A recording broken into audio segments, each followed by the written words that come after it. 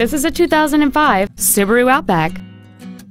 It has a 2.5-liter four-cylinder engine, an automatic transmission, and all-wheel drive.